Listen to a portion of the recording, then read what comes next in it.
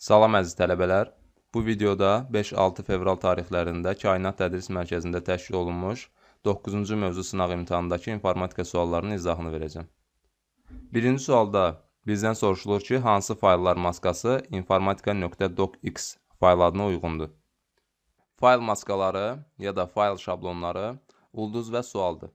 Biz ulduz və sualdan axtarış eləyəndə istifadə edirik. Ulduz ixtiyari sayda simvolu, sual isə nə az nə çox və mütləq bir simvolu əvəz eləməlidir. Sualın yerinə mütləq həmişə bir dənə simvol olmalıdır. Simvolu olmaya bilməz. Birdən çox simvol ola da bilməz. Ulduzun yerinə isə simvol olmaya da bilər, ürəyimiz istəyən qədər simvol ola da bilər. A variantında baxsaq, burada 10 dənə sual var i və a hərflərinin arasında. Amma informatika adında i və a hərflərinin arasında 9 dənə simvol var. Ona görə bu variant düzgün sayıla bilməz. Çünki sualların hər birinin əvəzinə bir dənə simvol qoyulmalıdır. B variantında i ilə a-nın arasında ulduz var. Bu o deməkdir ki, ulduz istənilən qədər simvolun bura qoyulmasını təmin edə bilər. Yəni burada informatika hissəsi düzəlir. Lakin nöqtədən sonrakı faylın genişlənməsi düzəlmir. Çünki burada doc var, faylın genişlənməsi isə docx-dir. Ona görə bu variant uyğun gəlmir. C variantında ə, deyə bilərik ki, faylın əsa adının əsas hissəsi A ilə başlayır, A ilə bitir. Amma burada da təbii ki, belə deyil. I ilə başlayır, A ilə bitir. Bu, bu variantda buna görə düzgün deyil. D variantına baxsaq, i-dən sonra i gəlir, aralarında ulduz var. Bu o deməkdir ki, i hərfi ilə i hərfinin arasında istənilən qədər simvol qoya bilərik. Burada da görə bilərsiniz, i hərfi ilə i hərfinin arasında müəyyən qədər simvol var. Ondan sonra isə burada i hərfindən sonra yenidən ulduz var. Bu o deməkdir ki, burada ikinci i hərfindən sonra gələn k, a hərfləri bunları bu ulduz əvəz edə bilər. Faylın adının əsas hissəsi tamamdır. Nöqtədən sonrakı docx genişlənməsi də eynilə bu genişlənməyə uyğun gəlir. Ona görə düzgün cavab D variantıdır. Y variantı niyə səhvdir? Əslində bu da düzgün ola bilərdi, amma bu informatika sözündə C hərfinin əvəzinə K olsaydı. R və A hərflərinin arasında sual var. Bu M hərfini əvəz edə bilər, lakin burada C hərfinin əvəzinə K olmalı idi. Düzgün cavab D variantıdır. İkinci sual. Outline paneli haqqında doğru mülahizələri seçməliyik. Söhbət PowerPoint 2010 proqramında olan Outline panelindən gedir. Normal görünüş rejimində iki dənə panel olur solda. Biri slide paneli, biz buna öyrəşmişik əsasən. Digəri isə Outline panelidir. Slides panelində əgər slaydlar gizlədilibsə, yəni nümayişdən gizlədilibsə, onu slide show lentabına təyin edirik. Orada slaydın nömrəsinin üstünə xətt çəkilir. Əgər slaydda animasiya varsa, onda burada ulduz işarəsi olur. Lakin bu dediklərimiz outline panelinə xas deyil. Burada o işarələrdən yoxdur. Ona görə biz ə, e, həmin variantları silirik. Burada slaydların gizlədilməsi ilə bağlı işarə görsənir və animasiyaların olması ilə bağlı işarə görsənir əmrlərini silməliyik. Ə, e, variantlarını silməliyik. Daha sonra e, burada struktur rejimi adlanır yazılır. Bəli, bu struktur rejimi adlanır. Ə, outline sözünü gördüyünüz hər şey strukturla bağlıdır. Mətn və struktur. Mətnlərin strukturu görsənir burada slaydların daxilində olan mətnlər görsənir gördüyünüz kimi. Burada slaydların daxilində olan mətnləri redaktə eləmək mümkündür. Baxın, e, hazırda element bazasından sonra nəsə yazacağam, klaviaturadan simvollar daxil edəcəm və bu orta hissədə o simvollar əlavə olunacaq. Deməli, burada slaydların daxilində olan mətnləri redaktə eləmək mümkündür. 1 düzdür. 5 də düz idi, struktur rejimidir. 2-də isə yazılıb, burada slaydları adlandırmaq mümkündür. Baxaq, e, deməli baxın, e, bu yuxarı hissədə slaydın adını qoyuruq. Məsələn, slaydın adını qoyuruq kompüter. Slaydın adı da bax bu hissədə gördüyünüz qoyuldu. Bu nəyin əsasındadır? Bilirik ki, Home-da Slides Lent qrupunda slaydlara eskizlər verilir. Burada susmaya görə olan eskiz Title and Content-dir. Baxaq, indi yeni bir slayd yaratsaq, Ctrl M-lə ya da New Slide-dan. Görürsünüz, bu eskiz gəlir. Burada slaydın adı olur, bu hissədə isə mətn qeyd olunur. Title, slaydın başlığı. Həmin bu hissədə slaydın adı verilir. Və outline-da da o həmin hissələr burada redaktə oluna bilir. Ona görə deyirik ki, outline-da slaydın adını verə bilirik. Və bu 11-ci slayddır. Gəlsək, slayd lent qrupunda 11-ci slaydın üstündə mouse'un kursorunu saxlasaq, onun adı orada görsənəcək, kompüter. Amma digər slaydlara ad verməmişik, məsələn 12-ci slayda. Orada gəlib saxlasaq, yazacaq no title. Adı yoxdur. Bunu da seçirik və düzgün cavab olur 1, 2 və 5. B variantı. Üçüncü suala baxaq. Monitorun ölçüləri 512 vur 1024 nöqtədən ibarət sahəsini yadda saxlamaq üçün 576 kilobayt əməli yaddaş ayrılmışdır. Nöqtələri rəngləmək üçün ən azı hansı sayda rənglərdən istifadə etmək olar? Əgər bizdən rənglərin sayını soruşursa, deməli, bizdən 1 pikselin həcmi gizlədir. 1 pikselin ə, e, həcmi deyəndə də şəklin həcmi yadımıza düşür. Yəni şəklin həcminin düsturu. Şəklin həcminin düsturunda belə idi ki, şəklin həcmi bərabərdir piksellərin sayı vur 1 pikselin həcmi. Şəklin həcmi 576 kilobaytdır. Yazırıq. Piksellərin sayı 512 vur 1024-dür. Onu yazırıq 2 üstü 9 vur 2 üstü 10 kimi. Və bunu da 1 e, pikselin həcminə vurmalıyıq. Vururuq x bitə. Əgər 1 pikselin həcmini tapmaq istəyiriksə, onu mütləq x bitlə yazmalıyıq. Çünki daha sonra rənglərin sayını tapanda bu x-i 2-nin üstünə qoyacağıq. O da bitlə olmalıdır mütləq. Burada sağ tərəfdə 219 alınır, sol tərəfdə isə kilobaytı bitə çevirmək lazımdır. Ona görə də bunu bu şəkildə yazırıq. 576 vur 213 bit. Kilobaytı bitə çevirəndə 213 bitə vurmaq lazımdır. Və kənarda da yazırıq x vur 219 bit. Deməli, bu hər iki 2-nin qüvvəti 213-ə ixtisar gedir. Və e, kənarda sağ hissədə 206 qalır. 576 bit bərabər olur x vur 64 bitə. Çünki burada 206 qalır, ona görə 64. 576-nı da 64-ə böləndə görürük ki, x 9 alınır. Deməli, bir pikselin həcmi 9 bitdir. Və sonda rənglərin sayı nə qədərdir? Adətən bilirik ki, rənglərin sayını tapanda bunu bu 9-u 2-nin qüvvətinə yüksəldirik, deyirik 512 rəng var. Amma burada bizdən ən azı hansı sayda rəngi soruşur. 512 burada maksimal rəng sayıdır. Bunu tapmaq üçün nə edirik? Bilirik ki, 256 rəng olsa, onda 1 pikselin həcmi olur 8 bit. Bəs 257 rəng olsa, onda 1 pikselin həcmi nə qədər olacaq? Bax, bu cür 2-nin qüvvəti şəklinə gətirilə bilməyən ədədlərdə, yəni bu sayda rənglərdə necə tapırıq 1 pikselin həcmini, onda onları 2-nin qüvvətləri arasında yazırıq. Bu 2 üstü 9 və 2 üstü 8 arasında yerləşir. Deməli, burada 1 pikselin həcmi 9 bitdir. Bu şəkildə yazanda böyüyün götürürük, yəni sağdakını götürürük. Artıq 257-dən başlayaraq 512-yə qədər, 512 də daxil olmaqla rənglərin sayı ilə olan palitralarda 1 pikselin həcmi 9 bit olur. Ona görə də deyirik ki, minimum rəng 257 olacaq. Düzgün cavab C variantıdır. Əgər bunun düsturunu da görmək istəyirsinizsə, e, bunları sizə göstərim. Bu, x bitlə kodlaşdırıla bilən maksimal simvol sayıdır, 2 üstü x, elə olduğu kimi. Bu isə x bitlə kodlaşdırıla bilən minimal simvol sayının düsturudur. Məsələn, 9 bitlə kodlaşdırıla bilən minimal simvol sayının e, tapılmasını istəyirdik. 2 üstü 9 çıx 1, yəni 2 üstü 8, 256, üstəgəl 1, 257. Bu düstur həqiqətən də özünü doğrultdu. Baxaq artıq dördüncü suala.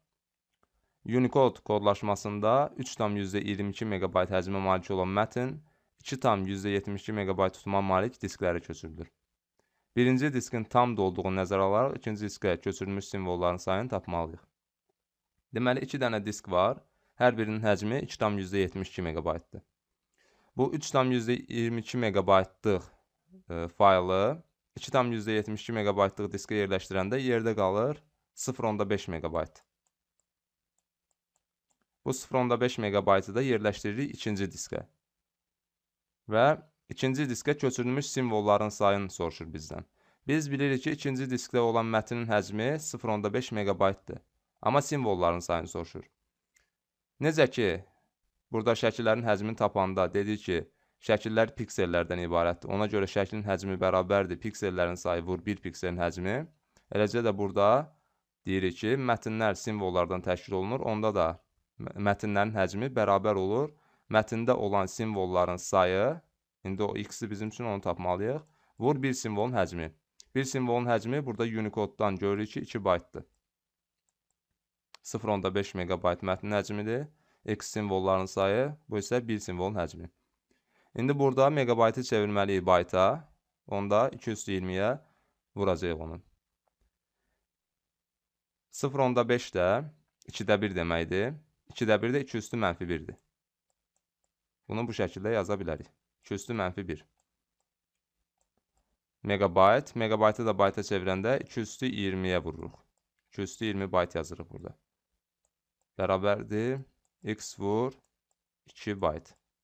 Və 2 üstü mənfi 1-i də 2 üstü 20-yə vuranda bilir ki, üstlər toplanır, əsaslar eynidirsə. Olur 2 üstü 19 bayt bərabərdir. X vur 2 bayt. Burada da 2 ilə 2 üstü 19 elə 2-nin özünə ixtisar gedir və bu hissədə 2 üstü 18 qalır. Yəni x 2 üstü 18-ə bərabər olur. Düzgün cavab B variantıdır. 5-ci sual. 100 ədədinin hasili, 3 ədədin müqayisəsi, 2 ədədin cəminin tapılması müvafiq olaraq hansı alqoritmlə yerinə yetirilir? Bu sualın cavabı üçün bu slayda baxa bilərik. 2 ya da 3 ədədin cəmi hasili xətti alqoritmlə hesablanır. 2 ya da 3 ədədin müqayisəsi isə budaqlanan alqoritmlə hesablanır. Müqayisə, orada şərt bloku olduğuna görə.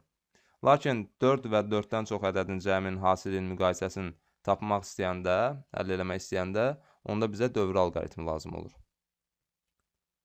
100 də 4-dən çoxdur, ona görə birincisi dövridir. 2-3 ədədin müqayisəsi demişdik ki, budaqlanandır. 2-3 ədədin cəmi hasili demişdik ki, xəttidir. Düzgün cavab A variantıdır. 6-ya baxaq. Verilmiş fraqmentdə B2-Y6 diapazonundakı bütün xanaların məzmununun silinməsi üçün hansı düyməni sıxmaq lazımdır? Fraqment budur. Bax, bu diapazonda olan bütün xanaların məzmununu silmək lazımdır. Xanaların özlərinin yox, yəni xəttləri ilə bir yerdə yox. Sadəcə içindəki məzmunu, içindəki yazıları. Bunu hansı düymə həyata keçirir? Backspace yox, delete düyməsi. B variantı. Məsələn, bu diapazonu seçsək, Burada delete düyməsini bassaq, onda diapazonun bütün məzmununu silir. Burada olan bütün xanaların məzmununu silir. Bəs backspace-i bassaq nə olacaq? Ctrl-Z eləyib bunu geri qaytaraq, sonuncu əməliyyatı ləğv eləyək. Backspace-i basanda isə yalnız aktiv xananın məzmunu silinir. Bax, birinci xananın məzmunu silinir deyə bilmərik. Çünki Ctrl basıb saxlayıb aktiv xananı dəyişə bilərəm. Məsələn, bunu eləyə bilərəm. Baxın, backspace-i basanda aktiv xananın məzmunu silinir. Excel-də bu şəkildədir. Elə Word-ün özündə də, Word-dəki cədvəllərdə də delete, orada da məzmunu silir. Lakin backspace cədvəli, e, cədvəldə əgər sütunu ya da sətri seçsək və backspace-i bassaq, onda backspace e, həmin sütunu ya da sətri xəttləri ilə bir yerdə silir. Yəni bütövlükdə pozur. 7-ci suala baxaq uyğunluğu müəyyən eləməli, proqram təminatına aid sualdır. Proqramlardır və biz də bilməliyik ki, buradakı funksiyalar hansı proqramların funksiyalarıdır. Diskdəki informasiyanın ehtiyac sürətini yaradır. Bu backupdır. Birə B uyğun gəlir. Yaddaşdan tamamilə silinmiş faylları bərpa eləyir. Recover sözünün özü də elə bərpa deməkdir. Bu C-dir. Diskin optimallaşdırılması üçün istifadə olunur. Bu da A-dır. Disk defragmentdir. Drive space diskdəki məlumatları sıxaraq, e, onun tutumunu artırmaq üçün, disk cleanup isə diski lazımsız fayllardan təmizləmək üçün istifadə olunur. Disk defragmenteri nə üçün optimallaşdırma variantını seçdik? Baxın, e, fragmentasiya səpələnmə deməkdir. Bilirik ki, fayllar diskdə klasterlərdə saxlanılır. Məsələn, bir dənə fayl burada sarı klasterlərdə saxlanılıb və sarı klasterlərdə burada səpələnib. Bunlar burada bu şəkildə səpələnəndə Faylla işləyən vaxt e, RAM-da işləyirik. O fayl RAM-da olur, proqramın özü də RAM-da olur, amma e, fayldan çıxanda onu save eləmək lazım olur və save eləyən zamanda o sərt diskə düşür. Yəni save eləyəndə RAM-dan sərt diskə müraciət olunur. RAM da sərt diskə müraciət eləyəndə görür ki, burada belə səliqəsiz bir vəziyyət var və save prosesini, yəni onun yaddaşda saxlanması prosesini gec həyata keçirir. Çünki burada səliqəsiz bir vəziyyət olur və bu klasterləri onu gec yazır. Lakin defragmentasiya eləsək, yəni səpələnmişləri optimal şəkildə, səliqəli şəkildə diskin bir tərəfinə yığsaq, onda RAM da bura müraciət sürətini artıracaq. Yəni bu dediklərimizdən artıq bilirik ki, disk defragmenterə bu üç xüsusiyyət uyğundur. Dağınıq faylları bir yerə toplayır, optimal yerləşməsini təmin edir və RAM-ın əməli yaddaşın sərt diskə HDD-yə müraciətini sürətləndirir. Növbəti suala baxaq. Aşağıdakı pəncərə hansı halda ekrana gəlir? Burada ingilis dilində yazılıb Are you sure you want to permanently delete this folder? Faylların silinməsində iki hal olur. Adi vəziyyətdə siləndə, yəni bütün adi silmə əməliyyatlarında e, orada sizdən soruşulur ki, fayl recycle binə atılacaq. Atılsın. Yəni adi vəziyyətdə dediyim sadəcə sərt diskdə olan faylları siləndədir. Sərt diskdə olan obyektləri siləndədir. Məsələn, flaşkadan obyektləri siləndə onlar heç recycle binə düşmədən silinir. Ona görə buradakı bütün variantlarda ə, e, qovluğun sərt diskdə olduğu yazılıb. Qovluğu siləndə ə, e, əgər delete yox, shift delete kombinasiyasını icra ediriksə, o qovluğu recycle binə düşmədən silir. Yəni birbaşa silir. Digər ə, e, kombinasiyaları, digər silmə kombinasiyalarını icra edəndə isə, məsələn, delete, Ctrl D, bax bu kimi kombinasiyaları icra edəndə ə, e, orada bizdə dialoq pəncərəsində soruşulur ki, ə, e, siz ə, faylı səbətə göndərməkdən əminsiniz. Ə, lakin burada soruşduğu nədir? Ə, siz faylı əbədi şəkildə silməkdən əminsiniz. Permanently əbədi deməkdir. Əgər bu sualı bizə verirsə, deməli biz orada shift delete kombinasiyasını icra eləmişik ki, o sual verir. Digər C və Y variantlarını icra edəndə isə heç nə baş vermir. Baxaq növbəti suala 9. Aşağıdakı cədvələ əsasən A5 xanasının qiymətini müəyyən etməliyik. A5 xanasında bir, bir düstur var. Average və mötərizədəki diapazon. Average-i daha sadə tapmağın üsulu, əgər mötərizənin içində baxanda çaşbaş qalırsınızsa, average-in yerinə yazın sum böl count. Bir ə, e, kəsir xətti çəkək. Yuxarıda bu diapazonun samı olacaq. Yəni bu mötərizəyə sum tətbiq edəcəyik. Average bilir ki, ədədi ortadır. Ona görə sum böl count edirik. Çünki ədədi orta ədədlərin cəminin onların sayına bölünməsidir. Sum burada mötərizə daxilində olanların cəmini tapacaq. Deməli, A1 B4 diapazonu. Burada baxsaq 5, 14, 6, 25. Bunların cəmi 50-dir. Bir də 0 var. 50 yazırıq bura. Sonra C1 D3 diapazonu. C1 D3 diapazonu da budur. Burada 4 dənə ədəd var. 14, 11, 15. Bunların cəmi də 40-dır. Daha sonra Y2 xanası var. Y2 xanasında bizdə 5 var. Bura bir 5 də yazırıq.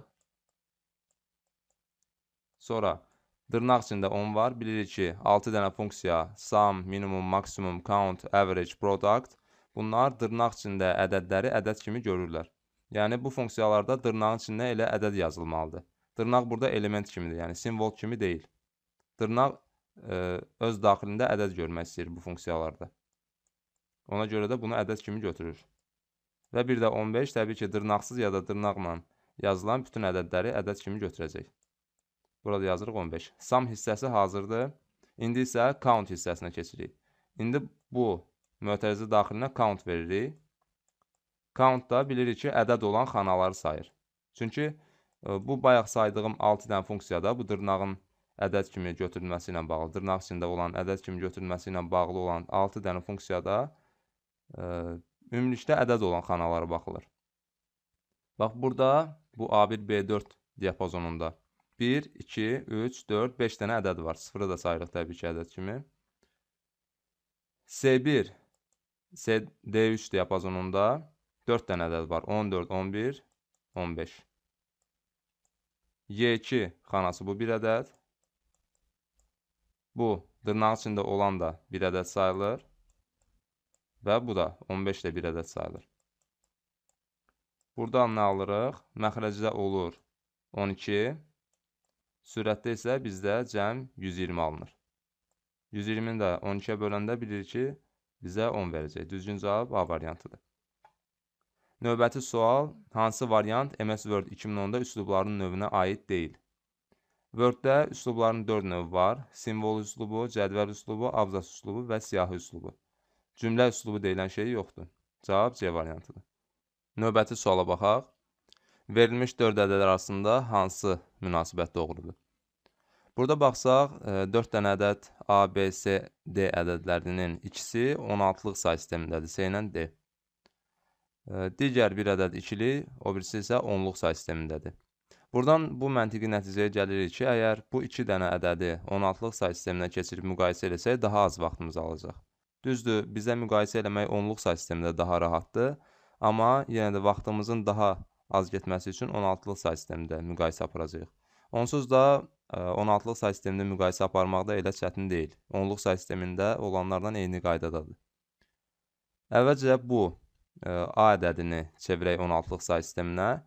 İkili say sistemindən 16-lıq say sisteminə keçəndə bilirik ki, ikili say sistemində olan ədədi axırdan əvvələ doğru 4-4 ayırırıq. Bu şəkildə. Və 8-4-2-1 üsulundan istifadə edirik. Yəni, bu dörtlüklərdə 8-4-2-1 yazırıq. Harda 0 var, onun üstündəki ədədlə bir yerdə üstündən xət çəkirik. Burada belə xət çəkdik və 4 ilə 1 qaldı. 4 ilə 1-i toplayırıq, yazırıq 5. Solda da 8, 4, 2, 1 yaza bilərik. Burada 3 dənə e, rəqəm var deyə bura 0 gətiririk. Və görürsünüz 8, 4, 2, 1 artıq düzgün vəziyyətə gəlmiş olur. 8, 4, 2, 1. Burada onsuz da 0 yazmasaydıq da olardı. Yenə də üstündən xətt çəkirik 8 ilə bir yerdə və burada 0-ın üstündən üstündəki 1 ilə bir yerdə xətt çəkirik. Burada 4 ilə 2 olur 6. Üst-üstə gəlirik və bu 16-lıq say sistemində olan 6, 5 ədədini bizə verir. İndi isə 213 e, ədədini onluq say sistemindən 16-lığa keçirməliyik. Onluq say sistemindən istənilən say sisteminə keçəndə e, bizə çubuqlu bölmə kömək edə bilər. Çubuqlu bölmənin əsas qaydası budur ki, hansı say sisteminə keçiriksə, onun əsasına bölməliyik. Yəni 16-lıq say sisteminin əsası 16-dır, ona görə də 16-ya böləcəyik. 16-ya bölmə aparanda burada bizdə cavab qalır 13. 13-ü yenidən 16-ya vuranda cavab alınır 208. Və burada da qalıq 5 qalır. Çubuqlu bölmənin e, ikinci qaydası budur ki, bölmə e, cavab say sisteminin əsasından kiçik olana qədər aparılır. Və 13 də 16-dan kiçikdir. Üçüncü qayda da budur ki, ədədi yazanda cavabdan başlayaraq qalıqları ə, e, axırdan əvvələ düzürük. Burada da onsuz da bir dənə qalıq var, sadəcə cavabdan başlamalıyıq. 16-lıq say sistemində olduğuna görə bu 13 ədədini bir rəqəmlə ifadə eləməliyik. 16-lıq say sistemində də 13D-dir. 10A, 11B, 12C, 13D. 5 də olduğu kimi yazılır. Bu da olur D5. Burada yazırıq D5. İndi bunları müqayisə eləsi olsaq, birinci rəqəmlərinə görə müqayisə eləyəcəyik. Belə bir bəsit misal çəkim. Məsələn, 45 ədədi böyüdür, yoxsa 32? Sırf birinci mərtəbəsinin, yəni onluq mərtəbəsinin, burada birinci rəqəmin böyük olduğuna görə deyirik ki, 45. Ya da belə bir sual. 45 böyüdür, yoxsa 47? İndi isə birinci rəqəmlər bərabərdir. İkinci rəqəm burada 7 5-dən böyük olduğuna görə deyirik 47 böyükdür. Və buna görə də hər bir ədədin birinci rəqəminə baxırıq, hansı ən kiçikdir. Görürük ki, 6 da ən kiçik. D 13-dür, C isə 12-dir. Deməli 6-dır burada ən kiçik olan. Ən kiçik 6-dır, bunu belə yazacağıq. C dedik ki, 12-dir, D isə 13-dür. Deməli, ikinci ən kiçik bu olacaq C. Daha sonra isə D5 ilə D1-in arasında kiçiyi müəyyən edirik. İkisi də D ilə başlayır. Onda ikinci rəqəmlərinə baxırıq. Burada 1-dir, burada isə 5-dir. Deməli, bu şəkildə olacaq və ən axırda da olacaq B. Bu cür variantda Y də öz əksini tapır. Keçək 12-ci suala.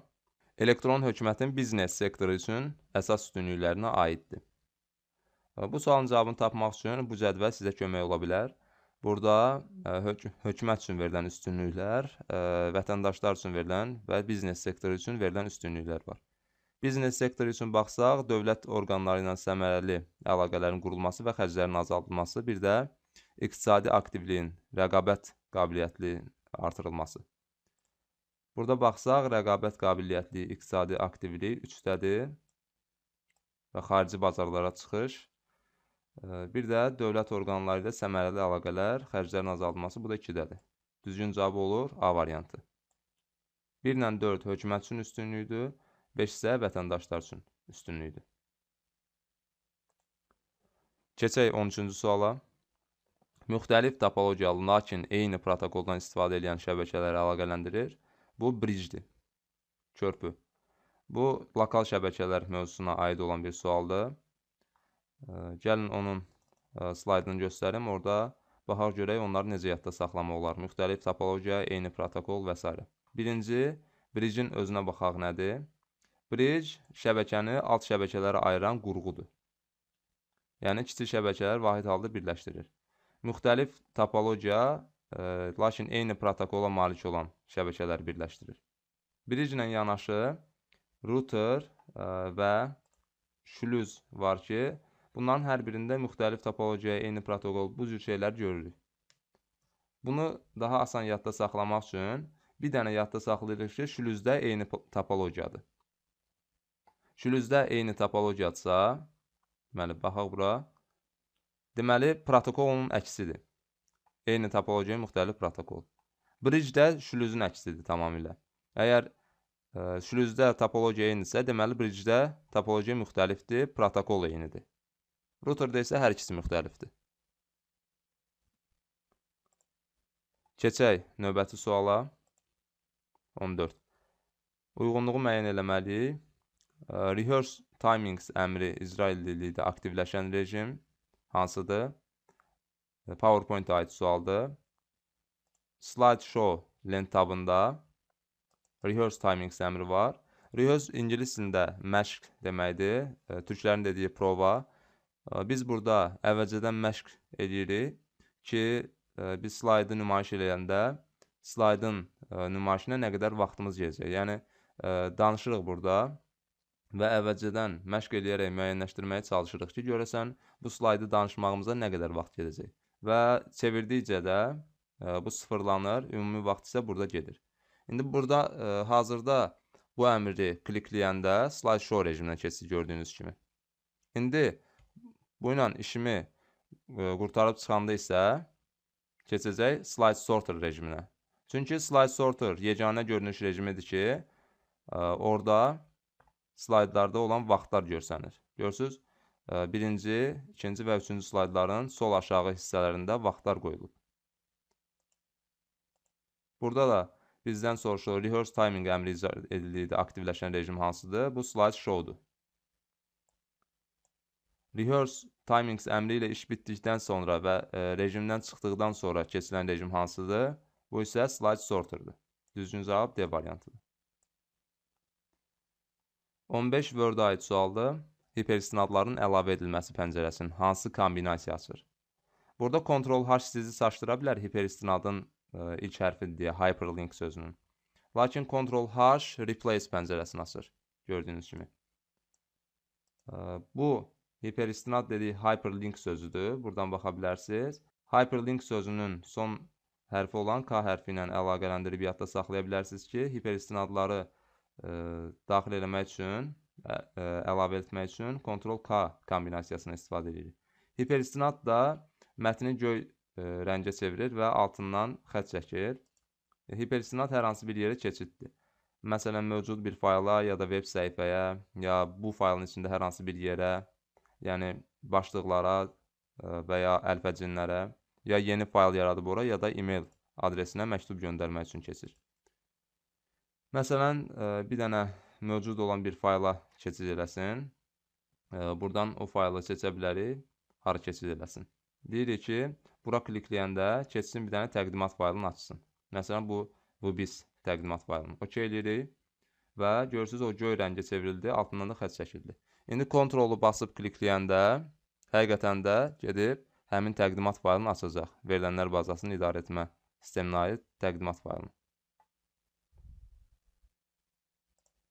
Və burada bir şeydə diqqət eləmək lazımdır. Artıq buna bir dəfə klikləndikdən sonra bu link, hiperistinat bənövşəyi rəngə çevrilir. Növbəti suala baxaq. Token ring texnologiyasına aid olanları seçməliyik. Bu da ə, e, lokal şəbəkə mövzusuna aid olan bir sualdır. Ə, e, şəbəkə texnologiyalarından token ringə aid olanları seçmək lazımdır. E, token ring texnologiyasında ring sözü üzük deməkdir.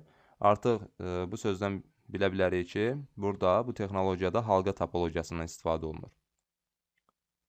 Halqa sözdə 5 hərfli olmağından belə ə, e, təbii ki, buna görə deyil, sadəcə belə yadda saxlaya bilərik ki, burada 802.5 standartından istifadə olunur.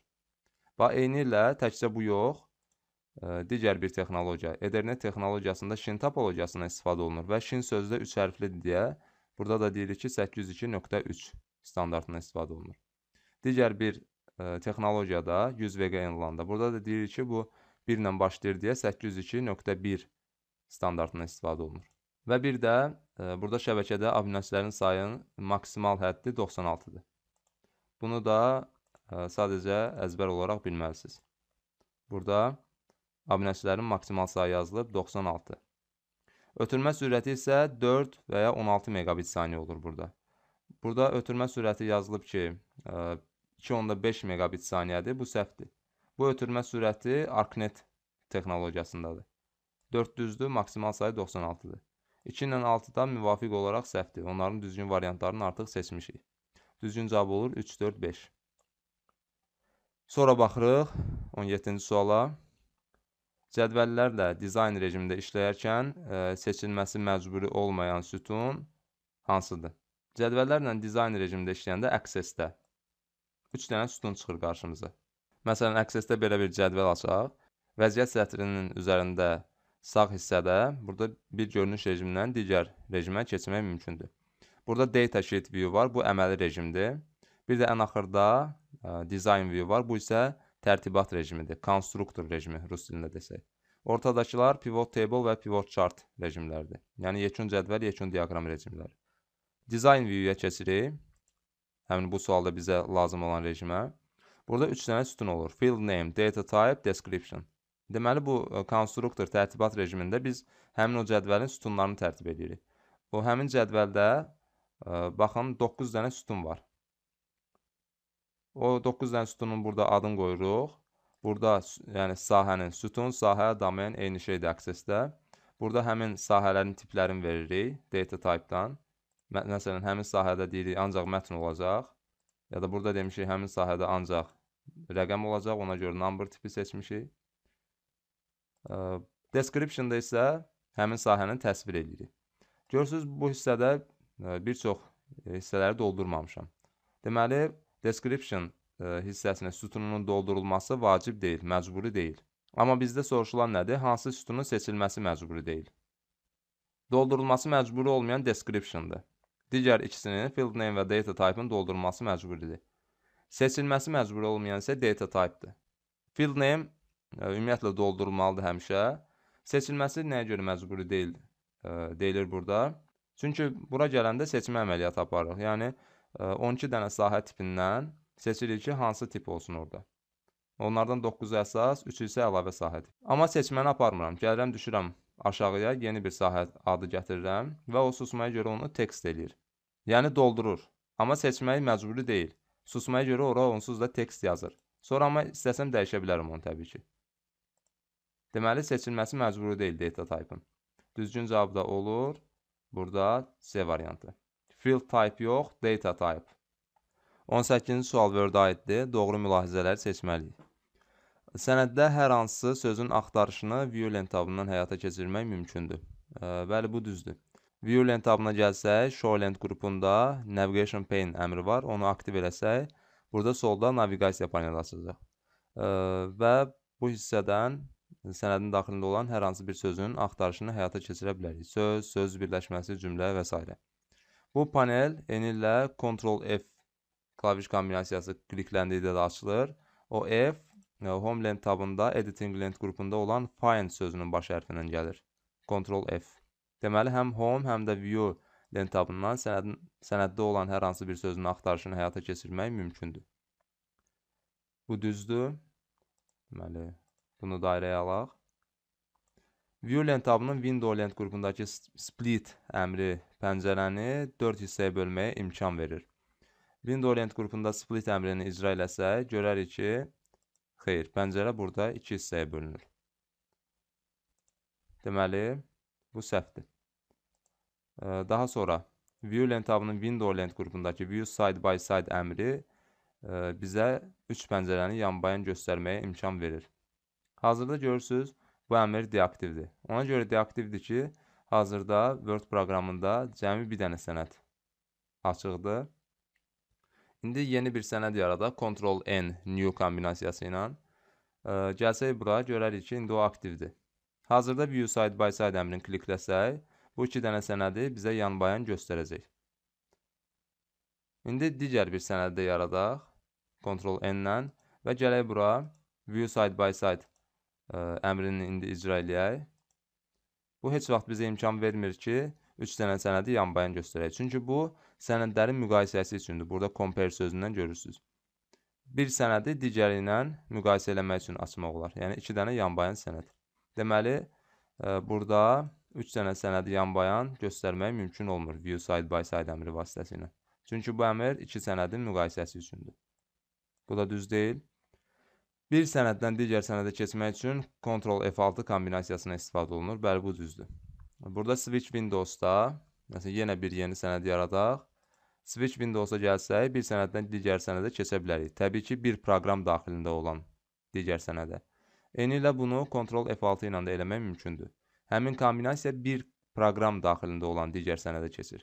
Amma ə, e, Alt tab ə, e, olduğunu düşünənlər də ola bilər. Alt tab ümumilikdə Windows-a aid bir kombinasiyadır. O bütün ə, e, proqram pəncərələrindən birindən digərinə keçməyə imkan verir.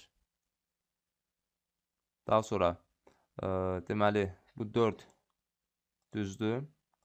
Draft görünüş rejimində sənəddəki şəkilləri və xəttkeşi görmək mümkündür. Bu səhvdir.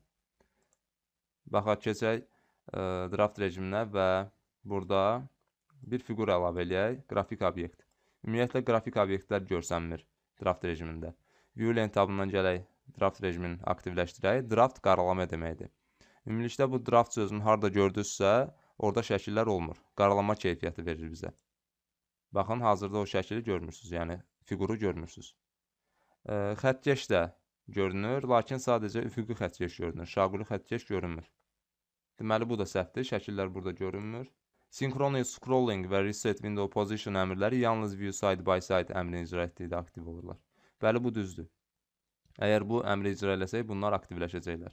Çünki synchronous scrolling bizə imkan verir ki, bu iki dənə sənədi eyni anda hərəkət elətdirək. Baxın, eyni anda hərəkət edirlər. Onu deaktiv eləsək, eyni anda hərəkət eləməyəcəklər. Reset window position isə müqayisə zamanı bir sənədi əgər bir pəncərədən böyütsəm, o sənədi müqayisə vəziyyətinə, əvvəlki vəziyyətinə gətirəcək. Ona görə bu müqayisə olunan vaxt aktiv olurlar onlar. Deməli, bu düzdür. Düzgün cavab olur 1, 4, 6 C variantı. Bu alqoritm nəticəsində f dəyişəninin aldığı qiyməti tapmalıyıq. Burada e, alqoritmin ilk hissəsi modifikasiyalı alqoritmdir. E, görsüz, 2 dənə ədəd var burada. Əslində modifikasiyalı alqoritmlərdə biz 3 dənə ədəd görməyi öyrəşmişik. İlk ədəd olur başlanğıc e, qiymət, ikinci ədəd olur son qiymət, üçüncü ədəd isə olur artım addımı. Bu üçüncü ədəd olmadığına görə, olmayanda biz artım addımını 1 kimi götürürük.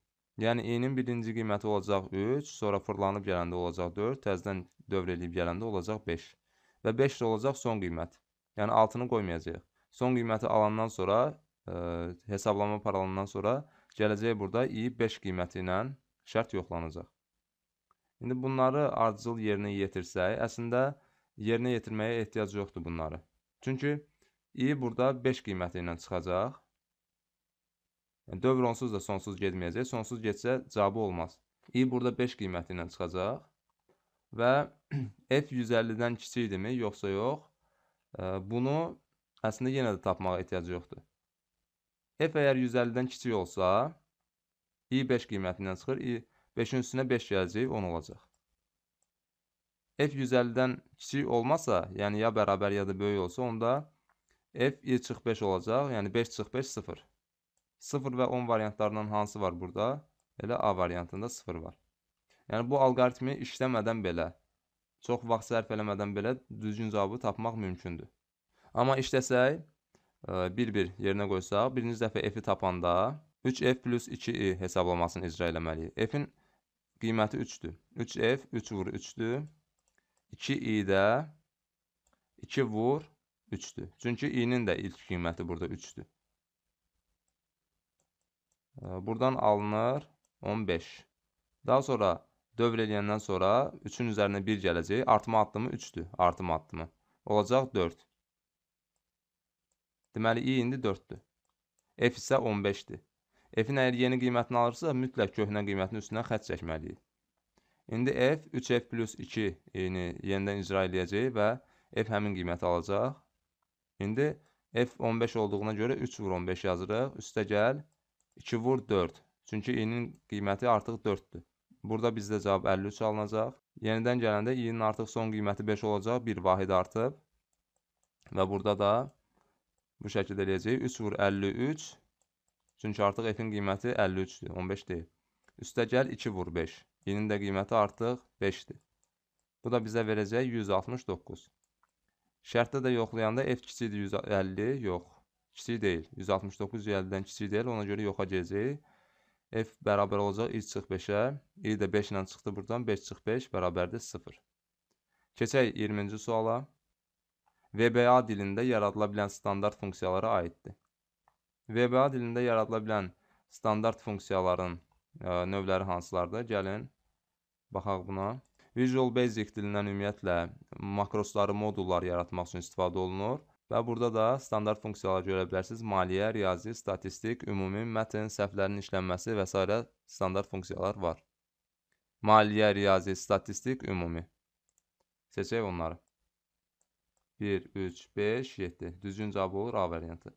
Digər 2, 4, 6, 8-də olan variantlar isə çaşdırıcıdır. Onlar verilənlər üzərində əməliyyatların növləridir. Hesabi, müqayisə, məntiqi, xüsusi.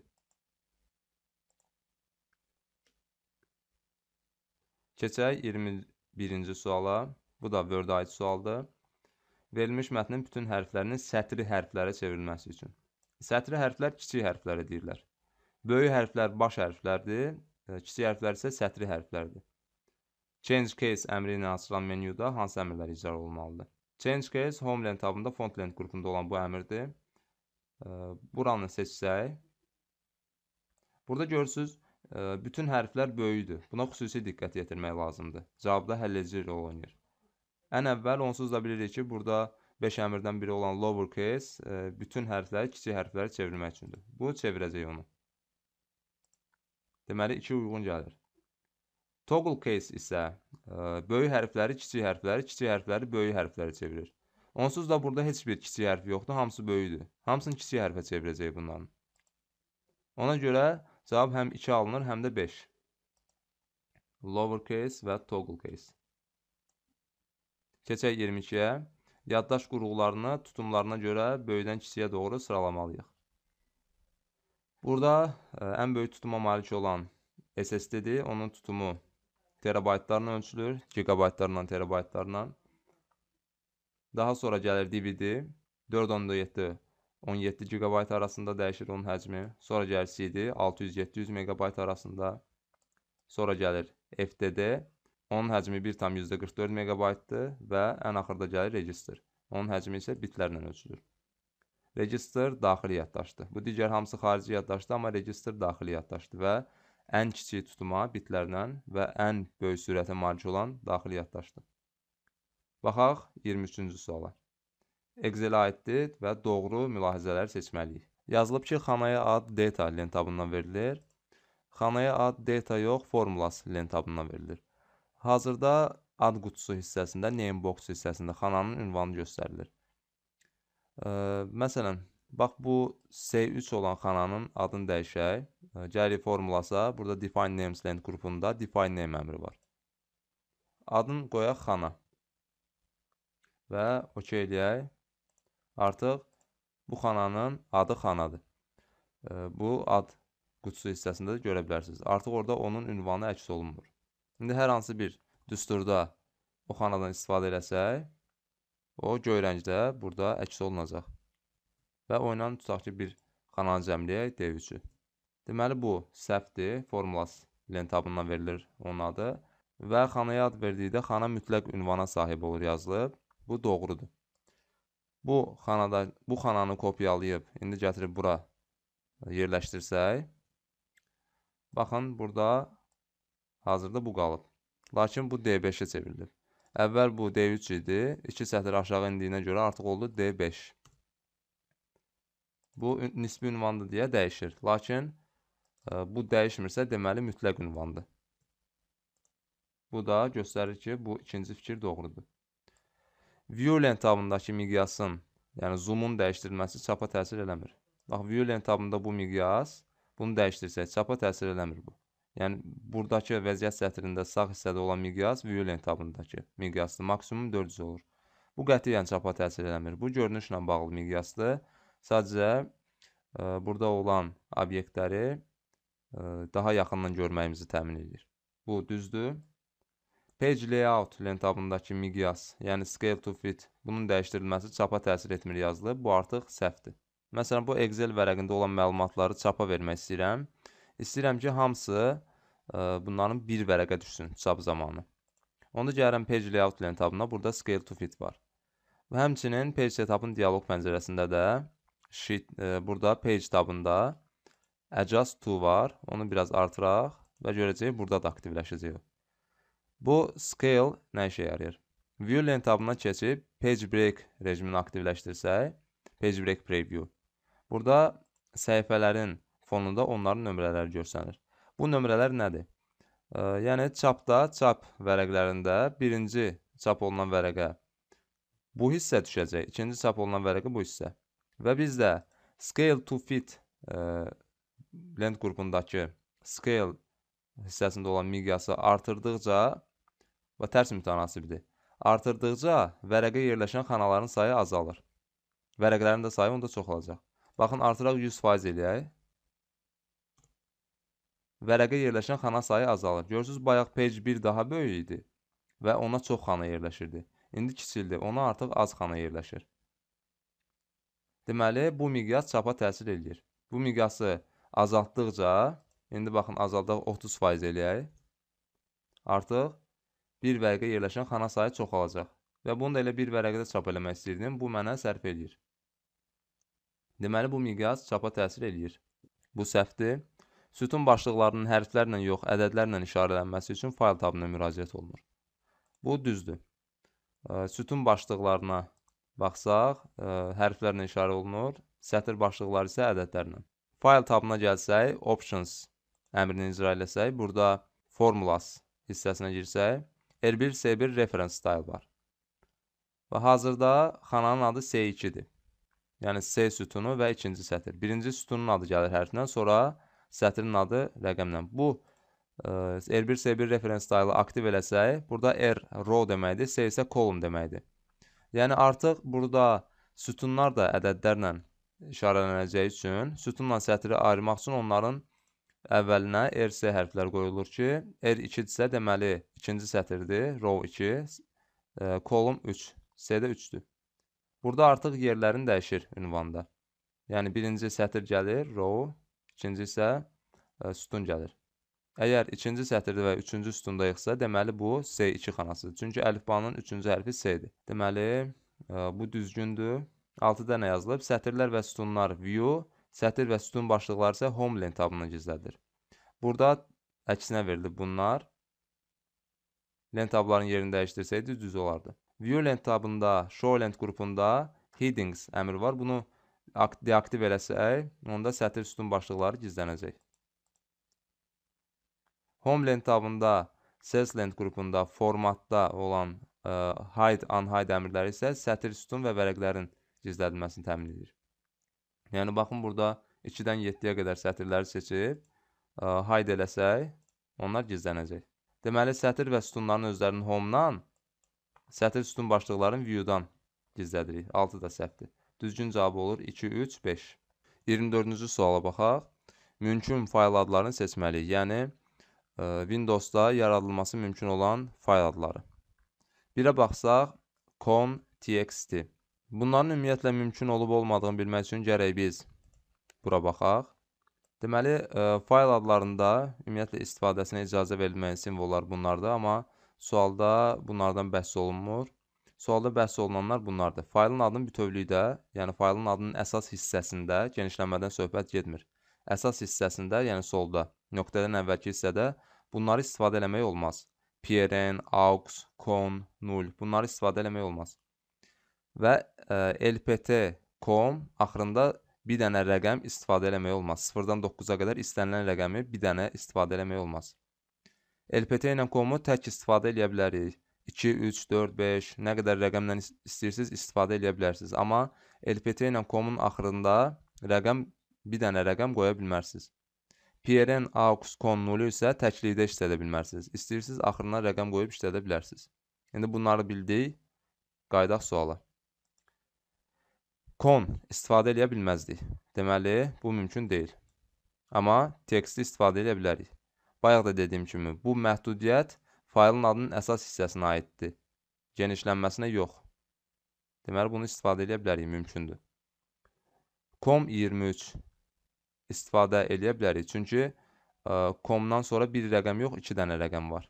Amma LPT5 istifadə edə bilmərik. LPT-dən sonra bir dənə rəqəm var. COM PPT istifadə edə bilərik. Çünki e, COM-la LPT dedik ki, özündən sonra bir dənə rəqəm olsa istifadə edə bilmərik. AUX 4 istifadə edə bilərik. Çünki kon kimi tək deyil, yanında rəqəm var. Kon, AUX, PRN 0.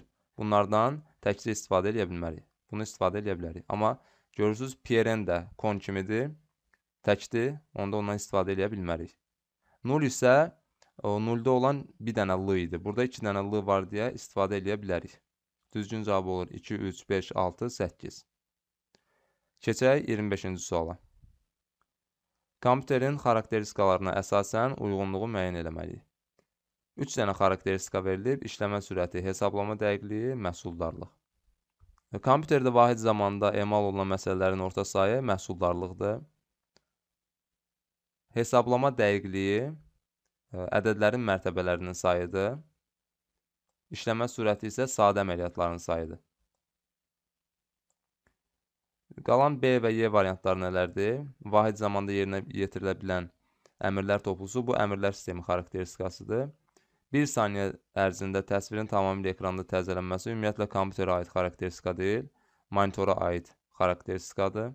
Bu, kadrların əks olunma tezliyi xarakteristikasıdır. Kompüterdə olan ə, xarakteristikaları görmək istəyirsinizsə gəlin bura baxaq.